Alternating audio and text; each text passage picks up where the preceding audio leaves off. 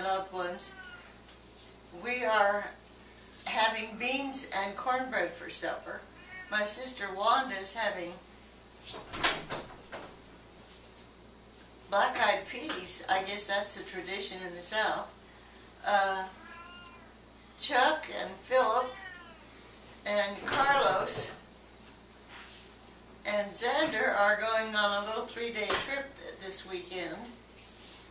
And uh, I'll just have Bruce and Chelsea and the others take care of me while Chuck's gone. Hi. Merry Christmas, Happy New Year.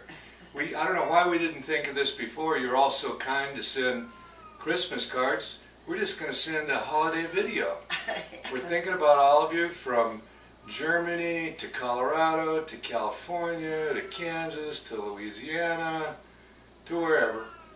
And we wish you a Merry Christmas and a Happy Holiday. and we love all of you. Okay.